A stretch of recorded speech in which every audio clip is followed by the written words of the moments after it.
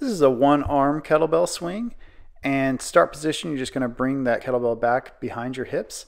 That way you sort of memorize the position of swinging all the way through the hips, being explosive. Feet are going to be a little bit wider than your hips on this, wider than they would be on a squat, giving you room to clear. And we're just going to extend through the glutes at the top of the movement. Now you can also do switches at the top. So you can do a whole set with one arm and then switch to the other side, or you can switch at the top here. So go from the right hand to the left hand at the top. Takes a little coordination, but not that difficult. Still being explosive, we're bringing that kettlebell through the legs, getting that back nice and flat, driving those feet through the ground, and exploding through the top.